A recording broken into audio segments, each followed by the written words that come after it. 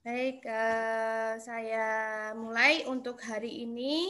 Mari sebelum mulai kita berdoa dulu menurut agama dan keyakinan masing-masing. Berdoa dipersilahkan. Berdoa selesai. Baik, selamat pagi. Assalamualaikum warahmatullahi wabarakatuh. Waalaikumsalam warahmatullahi wabarakatuh. Ya, Uh, hari ini kita akan membahas untuk distribusi penduduk dan kepadatan penduduk. Jadi ini masih sebelum UTS ya, jadi kaitannya masih tentang kependudukan. Nanti setelah UTS kita akan membahas tentang sosial ekonominya. Baik, uh, untuk hari ini yang pertama kita akan membahas tentang distribusi penduduk ya. Untuk bentuk penduduk ya bentuk penyebaran penduduk di suatu wilayah atau negara ini ada dua jenis untuk distribusi penduduknya. Yang pertama ini ada persebaran penduduk secara geografis ya, secara geografis artinya di sini melihat karakteristik penduduk ini menurut batas-batas alam. Nah, seperti kita tahu, batas alam itu adalah pantai, sungai, danau ya, waduk ya. Nah, atau eh, istilahnya pegunungan ya, deretan pegunungan ya. Itu merupakan batas-batas alam sehingga eh, kita mengetahui ya persebaran penduduk secara geografis eh, dari eh, geografisnya mungkin dari ketinggian tempatnya jika itu di daerah pegunungan Lalu kalau di apa namanya sungai ya di apa namanya di antara di sekitar sungai ini juga akan e, persebarannya memanjang ya polanya akan memanjang sepanjang sungai. Lalu danau itu mungkin akan mengitari dari danau tersebut ya pantai ya sepanjang pantai. Nah ini jadi e, persebarannya ini menurut batas alam. Ya, ini secara geografis. Lalu yang kedua, persebaran penduduk ini berdasarkan administrasi pemerintahan. Jadi di sini karakteristik penduduk ini menurut uh, batas wilayah administrasi ini ditetapkan oleh suatu negara ya. Jadi ini berlandaskan hukum atau politik ya. Ini seperti kita tahu batas administrasi itu ada batas provinsi ya, ada batas kabupaten, batas kecamatan. Nah, ini jadi persebaran penduduk ini berdasarkan administrasi pemerintahan. Nah, lalu masalah dari distribusi penduduk ini ada kepadatan penduduk ya dan juga ada pemerataan dalam pembangunan. Nah, ini saling terkait ya antara keduanya. Jadi di mana kepadatan penduduk di setiap wilayah itu berbeda-beda sehingga ini uh, juga akan uh, menjadikan istilahnya uh, pengamat bagi pemerataan pembangunan karena untuk pembangunan itu sendiri ya kita akan melihat eh, dari jumlah penduduknya gitu ya. Nah, oke. Nah, yang pertama tadi eh, permasalahan dari distribusi penduduk yang pertama ini adalah kepadatan penduduk. Nah, kepadatan penduduk di sini cara menghitungnya itu adalah eh, luasan ya suatu wilayah ini terhadap jumlah penduduk. Jadi di sini bisa dikatakan kepadatan penduduk ini merupakan angka yang menunjukkan antara jumlah rata-rata penduduk di setiap kilometer persegi ya pada suatu wilayah gitu. Nah, kepadatan penduduk ini ada kepadatan penduduk kasar, ada kepadatan penduduk fisiologis, ada kepadatan penduduk agraris. Untuk kepadatan penduduk kasar di sini eh, akan digunakan ya istilahnya banyak penduduk persatuan luas. Nah, jadi rumusnya gimana? Ada yang tahu rumusnya? Nah, seperti kita tahu kalau misalnya rumusnya ya jumlah penduduk per eh, luas areanya ya, gitu. Jadi luas areanya per Misalnya kalau kilometer persegi ya jumlah penduduk per kilometer persegi itu adalah eh, kepadatan penduduk kasar. Oke, lalu eh, kepadatan penduduk fisiologis ini adalah eh, jumlah penduduk ya tiap kilometer persegi ya lahan pertanian. Sehingga ini rumusnya bukan luasan keseluruhan area atau luasan wilayah tersebut, namun hanya luas lahan pertanian. Jadi jumlah penduduk per e, luas lahan pertanian yang ada di wilayah tersebut. Ini adalah kepadatan penduduk secara fisiologis. Kalau kepadatan penduduk ini secara agraris, berarti ini e, jumlah penduduk petani ini per kilometer persegi. Ini hanya luasan lahan pertanian dan juga untuk jumlah penduduknya bukan jumlah penduduk secara keseluruhan, tetapi jumlah uh, penduduk yang uh, bermata pencaharian atau sebagai petani gitu ya. Jadi dibagi lahan pertanian. Nah, gunanya untuk apa? Kenapa harus mengetahui untuk kepadatan penduduk kasar, kepadatan penduduk uh, fisiologis ya, kepadatan penduduk agraris. Nah, untuk kepadatan penduduk kasar ini untuk menghitung ya istilahnya berapa sih sebetulnya per kilometer persegi penduduk yang mendiami di suatu wilayah. Ini bisa untuk sebagai ukuran atau takaran istilahnya uh, menghitung atau membandingkan dengan wilayah yang lainnya. Nah, lalu kalau untuk fisiologis ini uh, kita akan mengetahui ya uh, jumlah penduduk keseluruhan dengan lahan pertanian. Artinya ini bisa kita prediksi untuk pangan ya, pangan lokal. Jadi produksi pangan lokal maksudnya pangan lokal bagaimana? Ya bukan dari impor dari daerah lain ya, gitu. Nah, jadi ini uh, seberapa kemampuan uh, wilayah tersebut memproduksi pangan untuk uh, sejumlah penduduk, gitu. Nah, lalu uh, untuk yang ketiga ini kepadatan penduduk agraris ya, ini kita akan melihat seberapa besar penduduk sebagai petani yang mengelola lahan pertanian. Gitu. Jadi ini akan melihat SDM-nya ya, SDM dari petani tersebut yang mengelola atau mengolah lahan pertanian yang ada di wilayah tersebut. Nah, jadi ini uh, kita bisa gunakan ya dengan menghitung uh, kepadatan penduduk kasar, kepadatan penduduk fisiologis dan kepadatan penduduk agraris gitu. Nah, faktor yang mempengaruhi adanya variasi keruangan penduduk ini ada yang pertama adalah faktor fisiografis ya atau faktor apa namanya eh, alam ya fisik ya. Jadi eh, yang mempengaruhi ini adalah bisa dari eh, faktor tanah ya iklim lalu topografi sumber air atau keberadaan air ya. Maksudnya di sini mudah ya atau akses dari air tersebut ya kemudahan ya. Lalu sumber daya alam yang ada. Nah. lalu untuk yang kedua ini faktor biologis. Ya dari fertilitas ya mortalitas gitu ya. Jadi ini faktor biologis dari kelahiran dan kematian. Lalu faktor kebudayaan dan juga teknologi yang ada di situ. Nah, ini berkaitan dengan SDM yang ada ya, kualitas dari SDM yang ada. Jadi eh, masyarakatnya ya itu maju ya, pola pikiran ya, skill, lalu keadaan pembangunan ya.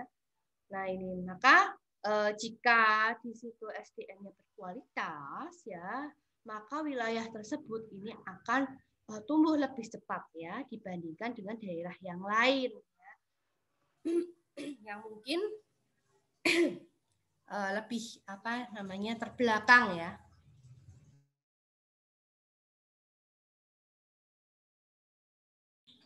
Nah, jadi ini ada tiga ini ya faktor yang mempengaruhi variasi keruangan penduduk ya dari segi fisiologis, biologis, dan kebudayaan dan teknologi. Nah, lalu eh, daya dukung lingkungan ya dan tekanan penduduk ini, ini bagaimana? Karena eh, kepadatan penduduk tersebut ini mempengaruhi ya daya dukung lingkungan dan juga tekanan penduduk. Nah, kepadatan penduduk ini berhubungan dengan daya dukung lingkungan. Mengapa? Ya karena eh, dari kepadatan penduduk tadi ya kita sudah menghitung kepadatan penduduk kasar tadi ini luasan wilayah lalu ada berapa orang yang tinggal per kilometer persegi maka itu bisa digunakan untuk menghitung daya dukung uh, wilayah tersebut. Jadi uh, bagaimana uh, dukungan uh, misalnya wilayah tersebut terhadap adanya sejumlah penduduk ya. Jadi entah itu ada kebutuhan lahan untuk uh, tempat tinggal, kebutuhan lahan untuk uh, apa namanya uh, industri, kepadatan penduduk untuk uh, produksi bahan pangan, ya. Jadi ini berpengaruh terhadap uh, daya dukung lingkungan. Nah, karena daya dukung lingkungan ini di berbagai daerah ini tidaklah sama. Karena apa? Karena sumber daya alam yang dimiliki oleh masing-masing wilayah itu juga berbeda-beda. Nih ya tadi. Jadi ada faktor fisiografis ini yang berbeda-beda di setiap wilayah. Baik itu tanahnya, iklimnya, topografinya, sumber airnya, sumber daya alamnya. Ini berbeda-beda di setiap wilayah. Tentunya juga faktor biologisnya juga berbeda-beda. Nah, faktor kebudayaan dan teknologi ataupun SDM yang ada di situ juga berbeda-beda. Jadi ini eh, ketiganya ini membuat eh, daerah tersebut ini satu sama lain tidaklah sama gitu. Nah, daya dukung lingkungan atau bisa disebut dengan carrying capacity di sini adalah kemampuan suatu wilayah ini dalam mendukung kehidupan Maksudnya mendukung gimana? Ya, dalam mencukupi ataupun memenuhi segala kebutuhan uh, penduduk yang ada di situ, di wilayah itu. Ya. Nah, atau jumlah populasi ini dapat didukung oleh sumber daya dan jasa yang tersedia dalam ekosistem tersebut di wilayah tersebut gitu. Jadi ini disebut sebagai daya dukung lingkungan. Nah, Sedangkan kemampuan wilayah ini ya dalam mendukung lingkungan jika terlampaui ini maka akan mengakibatkan terjadinya tekanan-tekanan penduduk. Ya, ada tekanan penduduk terhadap lahan ya. Nah, itu jadi um, otomatis kalaupun sudah lahannya sudah uh, terbatas ya maka jika uh, membutuhkan untuk lahan tempat tinggal maka dia akan membangun ataupun uh, pembangunannya akan uh, cenderung ke vertikal ya menambah jumlah lantai rumah ya gitu. Nah tekanan penduduk ini atau disebut sebagai population pressure ya di sini gejala adanya kelebihan penduduk. Ya disebut uh, sebagai overpopulation entah itu uh, karena adanya fertilitas ya uh, dan juga uh, tingkat uh, mortalitas yang rendah karena adanya kemajuan di bidang kesehatan lalu adanya migrasi masuk ya di wilayah tersebut sehingga ini menyebabkan overpopulation ya. Nah, mengingat sumber daya uh, di situ ya di setiap wilayah itu berbeda-beda ya. Oleh karena itu jika jumlah penduduknya uh, apa namanya banyak ya, istilahnya kepadatan penduduk tinggi, maka ketersediaan sumber daya yang terdapat untuk kebutuhan uh, penduduk itu uh, itu tidak akan dapat memenuhi uh, penduduk sejumlah penduduk tersebut yang ada di situ. Sehingga ini terjadi tekanan penduduk sehingga Eh, karena kebutuhan penduduk ini ada standar hidupnya yang diinginkan di daerah yang bersangkutan. Nah, sehingga jadi karena untuk pemenuhan tadi ya kebutuhan uh, penduduk tadi sehingga jika jumlah penduduk itu besar maka pemenuhan kebutuhan penduduk itu besar ya. Jadi ada standar hidupnya misalnya uh, kalau uh, kebutuhan air itu Eh, berapa meter kubik ya untuk uh, satu rumah tangga. Nah ini jika di suatu daerah tersebut ini sumber daya airnya ini uh, tidak bisa mencukupi, maka akan terjadi tekanan penduduk terhadap air gitu. Nah, jadi karena ada standar hidupnya ya, gitu. Nah, uh, di sini ya, uh, maka jika tekanan penduduk ini uh, namanya harus sesuai dengan standar hidup ya yang diinginkan ataupun uh, demi kelangsungan hidupnya maka akan mendorong penduduk ya khususnya ini untuk petani kalau ini tekanan penduduk terhadap lahan ini untuk memperluas lahan garapannya atau keluar dari lapangan pekerjaan di bidang pertanian. Uh, untuk apa ya? Untuk memperjuangkan hidupnya, untuk kelangsungan hidup yang lebih layak. Mungkin jika dengan uh, apa namanya lahan yang sudah tidak ada, ya alih fungsi lahan yang tinggi, lalu uh, dia mau apa ya? Istilahnya ya akhirnya beralih uh, mata pencaharian. Gitu. Nah, akibatnya ini adanya kelebihan penduduk ini menyebabkan ya adanya daya dukung lingkungan nih Eh, cenderung tidak berubah karena mengalami penurunan.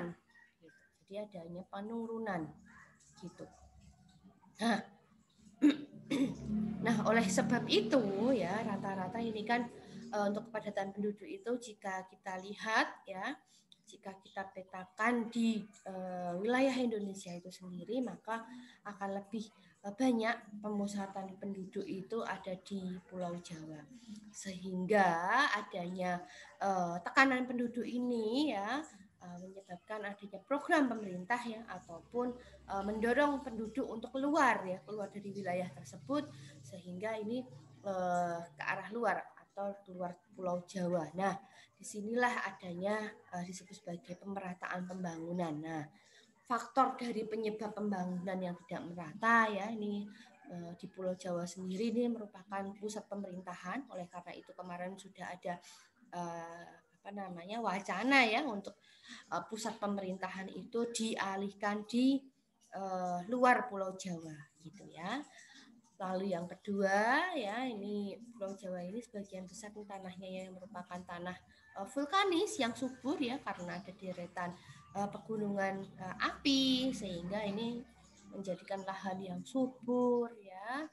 Nah, maka jika uh, untuk uh, lahan pertanian maka ini sangat cocok sekali langsung ditanami uh, padi sedangkan untuk di luar Pulau Jawa ya mungkin tanahnya harus diolah terus dulu ya karena uh, kita misalnya kita tahu ya kalau misalnya di Kalimantan itu lahannya adalah lahan gambut sehingga jika mau ditanami uh, untuk padi ya harus dihilangkan uh, unsur yang ini ya tidak cocok ya.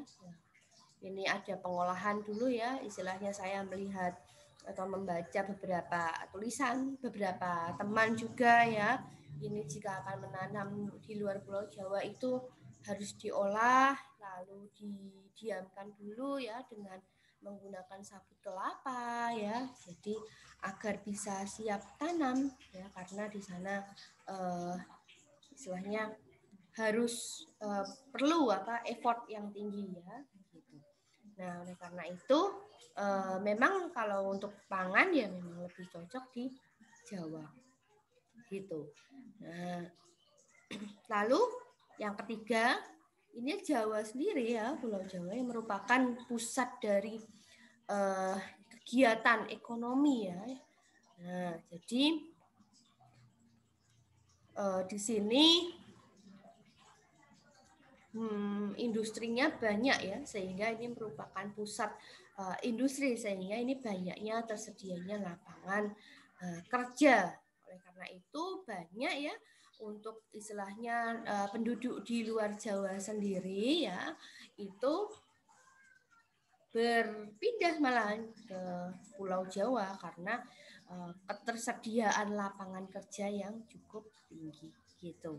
Nah, seperti kita tahu kalau misalnya ada gula ya ada semut ya gitu. Jadi di mana itu uh, ada tawaran yang menggiurkan ya maka orang kan berbondong-bondong pindah ya ataupun ataupun datang Nah, lalu di Pulau Jawa sendiri ini tersedia berbagai jenjang dan jenis pendidikan. Nah, gitu. Karena memang fasilitasnya ya yang maju ya, berbagai jenis pendidikan. ya atau pendidikan tinggi pun ya gitu oleh karena itu uh, ini harus dilihat ya istilahnya mengapa pembangunan tidak merata ya ada beberapa faktor lalu yang kelima ini juga memiliki sarana komunikasi yang baik dan lancar. Nah namun untuk sekarang ini ya karena upaya pembangunan ya maka ada usaha pemerintah ya dalam pemerataan pembangunan sendiri. Ini ada program transmigrasi ya. Uh, untuk uh, dulu beberapa tahun yang lalu ini di desa apa namanya uh, tempat saudara ya ini adanya bedol desa yang mereka pindah berbondong-bondong pindah ke daerah uh, Lampung ya istilahnya program dari transmigrasi. Jadi menjual lahannya yang ada di sini ya lalu berpindah tapi mendapatkan lahan yang lebih luas di sana gitu. Sehingga mereka um, memang basicnya petani sehingga ketika di sana pun juga mereka bertani dan uh, sukses ya karena lahan yang dimiliki uh, itu uh, luas gitu sehingga ini mereka malah justru lebih maju di sana gitu. Nah, ini adanya program transmigrasi lalu adanya kebijakan ya program KB untuk istilahnya ngerem ataupun mengatur ya jumlah penduduk ya gitu ataupun ini kebijakan untuk mengatur usia perkawinan ini harus di atas ya di atas dari sekarang berapa nih? 20 tahun ya gitu. Lebih dari 20 tahun ya. Kalau bisa ya lebih dari itu ya gitu. Lalu adanya kerjasama antar pulau dan antar daerah ya misalnya uh, Pulau Jawa ya dengan luar pulau ya. Nah ini jadi adanya kerjasama ya gitu terus adanya perbaikan pendidikan di semua daerah ya tidak hanya di Jawa saja oleh karena itu ini di masing-masing uh, apa namanya wilayah di luar Pulau Jawa ini sudah uh, ada ya uh, istilahnya seperti universitas-universitas ya pendidikan-pendidikan yang ada di sana. Nah ini juga ada beberapa teman saya yang tadinya teman istilahnya S2 gitu ya yang tadinya mengenyam pendidikan di apa namanya Jogja sekarang sudah ada, uh, jadi apa namanya tenaga pengajar juga di sana ya. Ada yang di Sulawesi ya gitu. Gitu jadi Eh, banyak ya, ada yang di Kalimantan, ada yang istilahnya di Medan ya, gitu. Nah, jadi eh, banyak tersebar ya. Jadi geografi itu tidak hanya di Jawa saja ya, tidak hanya di uh, apa namanya Pulau Jawa, tapi sekarang sudah ada ya di beberapa daerah gitu. Nah, oke, lalu yang kedua, ini untuk usaha uh, pemerataan pembangunan ya, ini ada usahanya. Nah, yang kedua, sembilan usaha pemerataan pembangunan ini uh, gunanya untuk apa? Yang pertama adalah um, percepat pembangunan ini lebih optimal. Di mana uh, ini mendorong percepatan pembangunan dan pertumbuhan wilayah ya khususnya ini wilayah-wilayah ini strategis yang selama ini belum berkembang secara optimal. Jadi di sini uh, melihat potensi wilayah tersebut dan uh, menjadikan istilahnya kalau istilahnya logikanya gini, ada uh, wilayah yang memiliki potensi ya istilahnya memiliki potensi itu ya misalnya kalau orang memiliki bakat ya memiliki bakat kalau misalnya bakat itu diasah, maka orang itu akan lebih optimal kembali. Nah, demikian pula wilayah. Jika uh, wilayah tersebut memiliki apa namanya potensi, ya, misalnya SDA yang memang belum terjamah atau belum diolah, nah ini uh, bisa nih ya istilahnya diolah, dikembangkan sehingga menjadi wilayah yang lebih optimal, ya, lebih berkembang.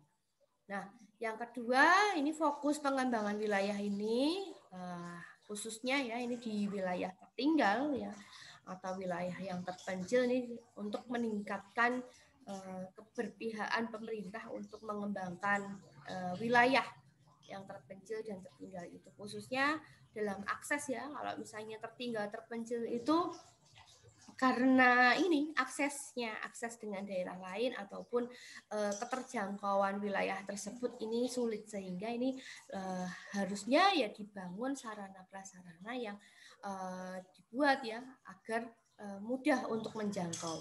Sehingga tidak akan menjadi wilayah yang terpencil ya jika sudah aksesnya sudah mudah, maka wilayah tersebut akan lebih cepat untuk uh, dikembangkan sehingga sudah tidak menjadi wilayah yang tertinggal gitu.